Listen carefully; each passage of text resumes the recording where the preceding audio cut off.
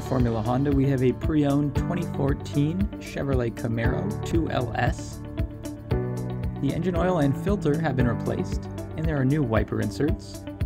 This vehicle has also had a four wheel brake service, and it's been fully detailed, so book your appointment today here at Formula Honda.